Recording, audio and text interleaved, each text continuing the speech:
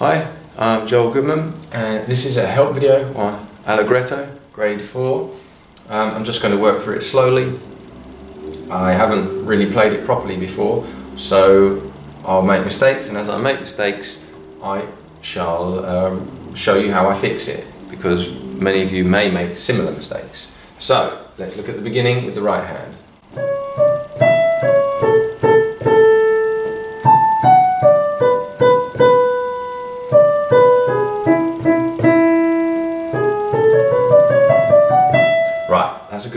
Stop. I just want to check the fingers there.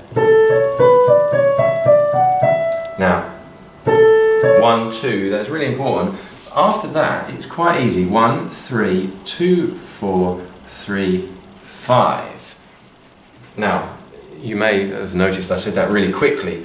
It's a pattern that comes up a lot in piano. When you're playing thirds, you get your hand in a neutral position, not stretched, uh, and, and you can uh, get through them. So it, the first one's out of position, then we're in position. Okay. Rhythm-wise, I use the word cappuccino. Um, cappuccino, cappuccino tea, coffee tea. Okay. Um, let's finish the last line. So here we go. I'll pick up from that last note. Uh, one, two, three. Oh, yeah, I thought that was wrong, but that is right. It just sounded really strange. So D sharp there, second note of line three. I'll do it again.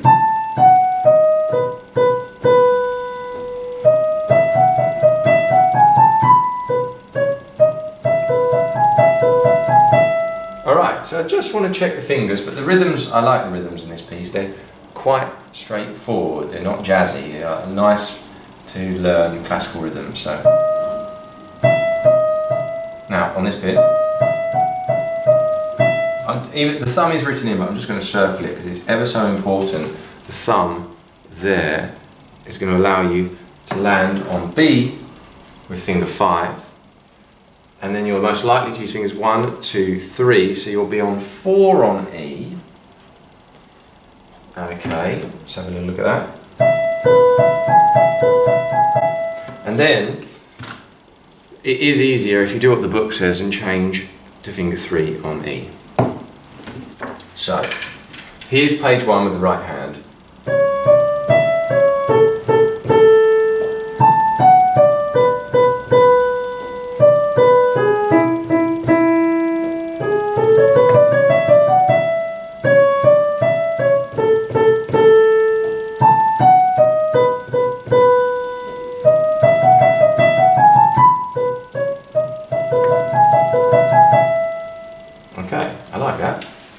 Energetic. Left hand uh, looks like a bit of a, a Ber Alberti bass pattern. Just checking you can see my left hand. Good, you can.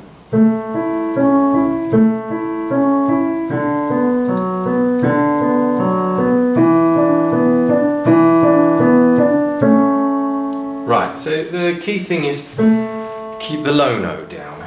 That's important. I'll do it again.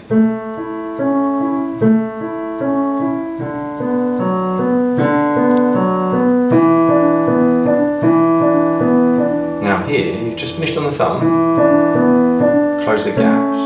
So there's your thumb, close the gaps. We start again. F sharp is the high note. Now it says 2 and 5, but I prefer 1 and 5. So, me personally, I'm going to use 1 and 5, but if your teacher wants you to use 2 and 5, that is what you will do because they're teaching you the technique that they feel is best. So 1 and 5, then we move. Now I follow the fingers. So let's uh, just play hands together and see if it causes any problems.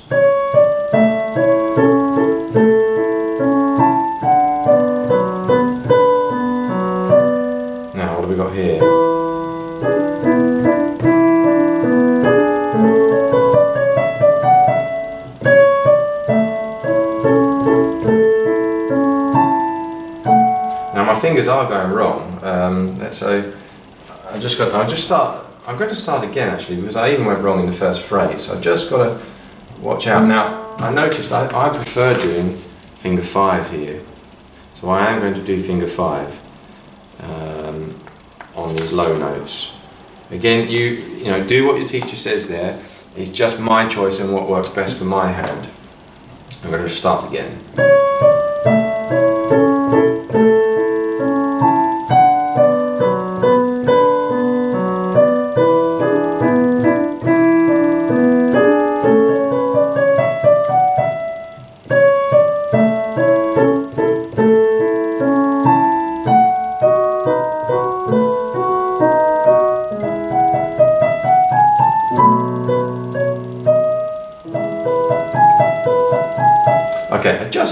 The ending there. And so from there we land on four and here we close the gaps. The left hand we close the gap. And let's just so I'll just do those two again. No, still the left hand was messing up. It's, it's not wanting to go the right way. It's got to it's got to close the gaps and move towards the thumb. Need to do it again. It's just not coming very naturally.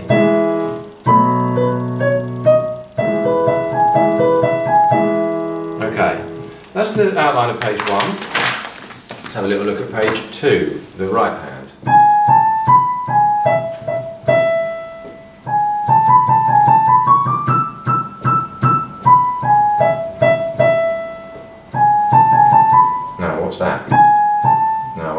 Start the phrase again. I'm going from the last bar of line one.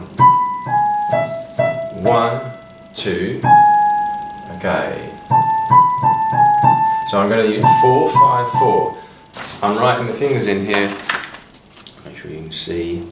Uh, yep, you can see that. Four, five, four. It caught me out. Four, five, four. We three on the G sharp and the one.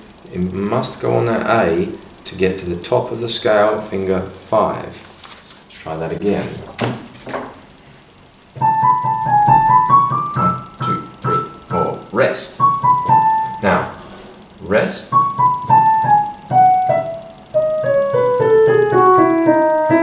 Now that's a funny little scale. It's sort of in, in pairs there.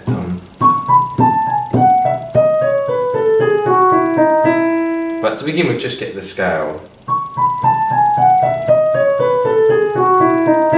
When you've got the hang of it,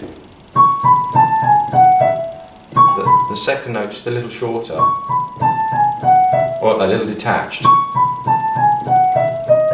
Oh, change the speed. So we got uh, rest.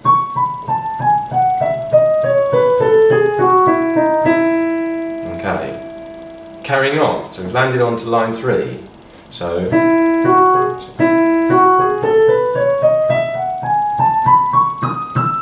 nice scale there. So I okay. So we'll just run through it. Yeah, it's just a scale. Just watch out for the D sharp. Okay, and it's important to get the ones on the, the E's and the A's. E's and the A's. Okay? Rest. And then we should get rest. That's repeated material.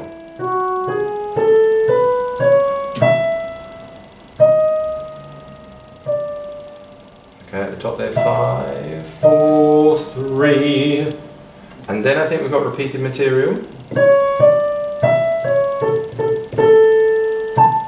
This is all repeated, isn't it?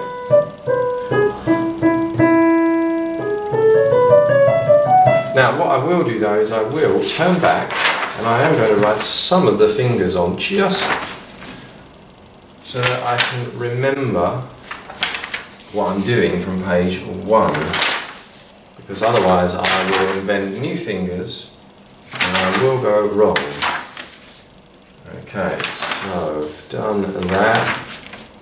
They don't do it in the book because it saves print, you see, uh, and probably they think people are supposed to be cleverer than I am and just remember it, but I can't remember these things, so I just turn back, copy up my finger numbers, takes two seconds. That way I know I'm not going to have any problems. Right, so that gets me to the end of the page. Here's the page two with the right hand. One, two. No, that begin that should have I, I need to add some finger numbers on this beginning bit. So we're going to, uh, three, four, three, two, and the one goes under. I sometimes like to draw a little arrow like that to remind myself to go under. Let's try again. One, two.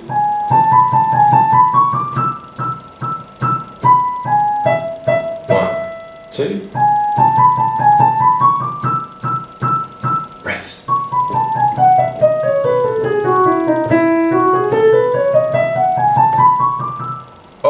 D sharp. Let's just do that scale again. Rest.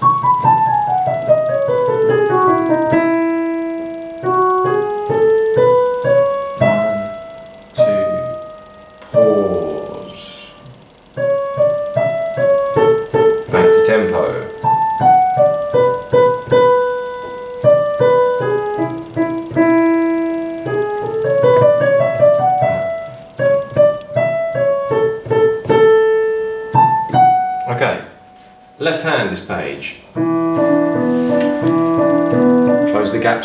Thumb. A lot of rests. Same. Okay, so that's easy. Continuing on line two. Rest. Just got to learn the chord shapes B, F sharp, A. Here, slide the thumb onto the G sharp. Okay, practice these things so that the move gets easy. Okay, and then do you know what I prefer, and I'm going to change this. On the F sharp and the A, I prefer to use 1 and 2 because we'll use 1 and 2 on the next F sharp and A. This I agree with, and I'm going to put 1 and 2 on that F sharp and A.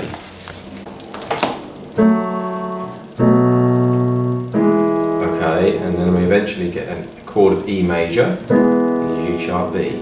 And the rest, I think, is the same page one. I'll just do a quick check back. Right in my fingers, I'm going to use a 5 and a 5. Oh, uh, I don't need to write it there. And a 5. I get to the E, I'm also using a 5. And A sharp, C, 2 and 4. Okay, and then the last little bit is different. Okay. Just making sure we hold the low note down. Here's the left hand, so page two. Rest, rest, rest. Rest, rest, rest. Rest, one, two, one. Rest, rest, rest. Rest, one, two. Rest, one, two, one, two. Chord,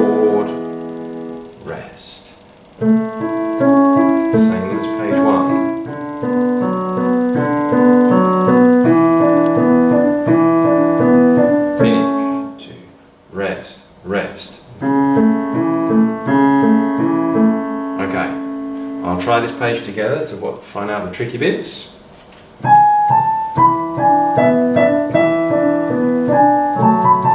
Is that right? No, I did it wrong. My two and the four just went to stupid notes. They should have closed the gap. C sharp. I'm just going to write C sharp because I don't want to do that again whilst I'm recording myself.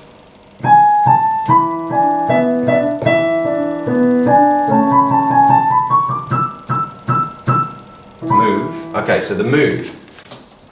Alright, add a little pause there. E to B. Got to get there fast, in time. Start the page again.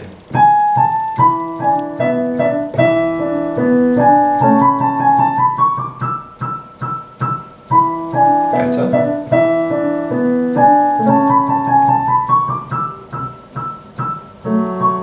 Now the rhythm here, let's see. Now if we've just gone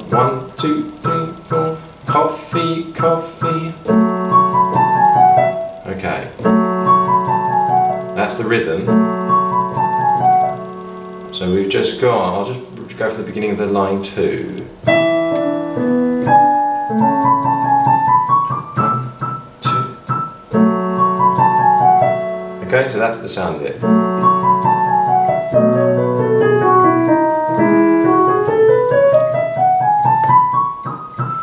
I was hesitating there because of that D sharp, I wasn't sure.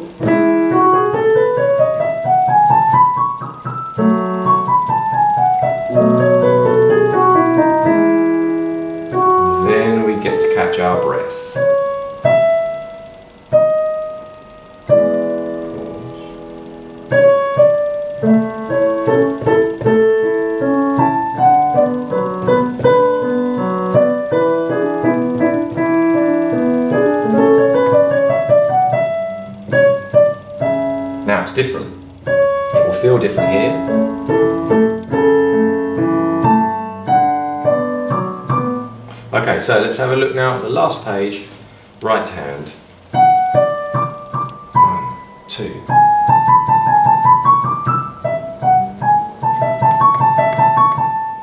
Okay, sort of straightforward. It's tricky to play fast, but it, it makes sense.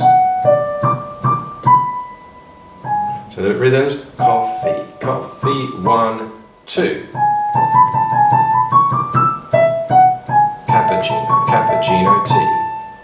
Carrying on, coffee.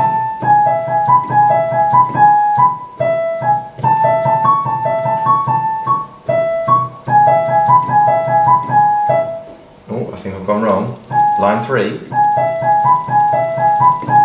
Yeah, it goes up, so now I'm worried I've done them all wrong. I've got to do the whole thing again now.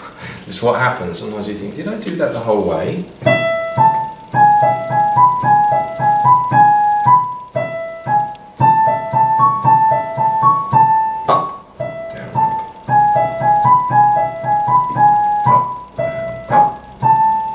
So now it changes. So we get an A.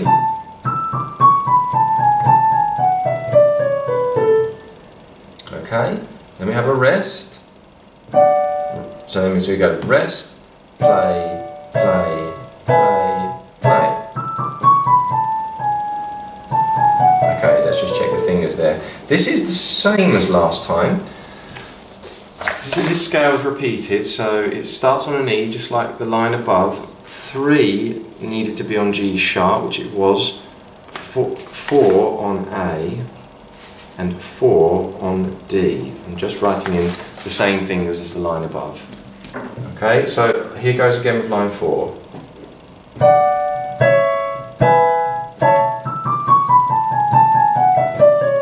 Rest. Now, chord, chord, chord.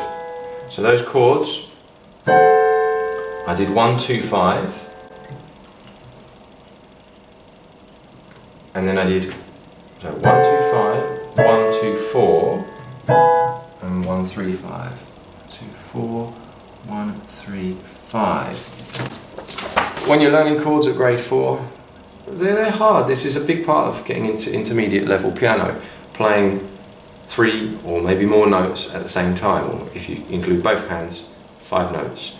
So it's quite hard to get your hands ready, so sometimes you might want to write the letters next to it, uh, just to, while you're practicing it.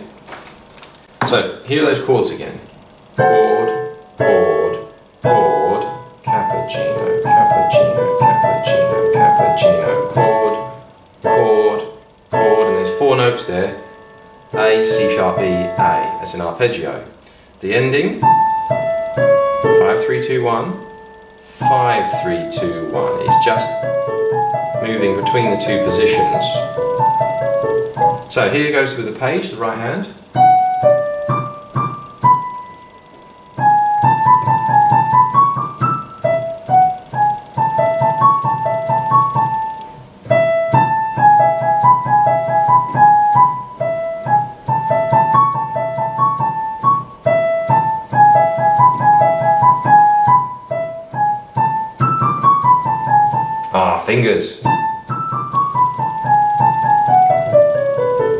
Let's Oh dear. Right, here we go again. So line three, I'll do the beginning of line three.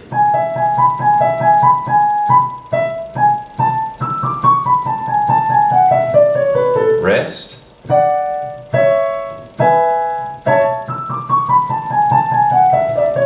Rest.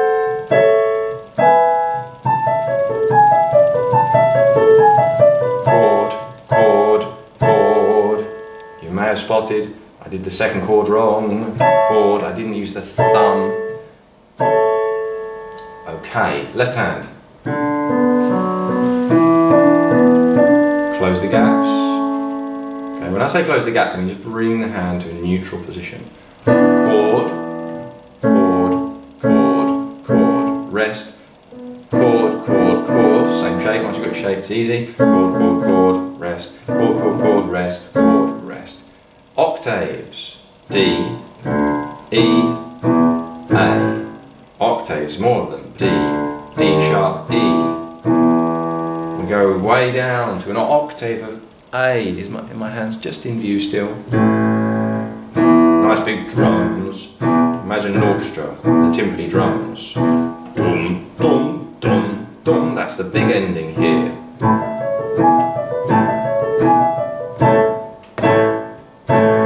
So, let's try this page hands together. Okay, here we go. Right, uh, I'm just I'm gonna write three below that F sharp bar, first bar. Here we go.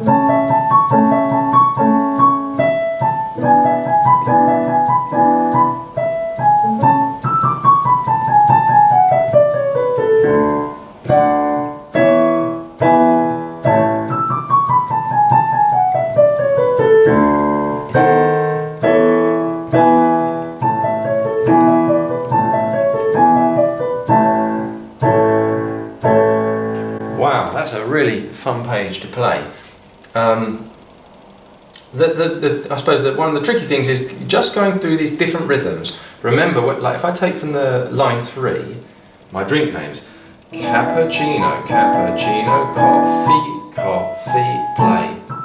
So here, this one, if, what would I say here? I say I don't have words for this kind of rhythm. Um, coffee, coffee, hmm, dum da da cappuccino. I don't know what to say for that bit. Dum da dum dum da dum. Please, uh, let's let's make something up there. So cappuccino, cappuccino, coffee, coffee. Please, one, one more, please. One more cappuccino, cappuccino, cappuccino. And then we're off to the word tea, tea, tea, tea, tea. Please, one more cappuccino, cappuccino, cappuccino, tea. And then what have we got? tea, tea, tea, cappuccino, cappuccino, cappuccino, cappuccino, tea, tea, tea. All right. Um, I hope that helps a bit. Um, thank you for requesting this video. Um, you're doing really well with your piano. If you've made it to grade four, that's further than most people get. And if you've made it this far in the video, that's further than most people get.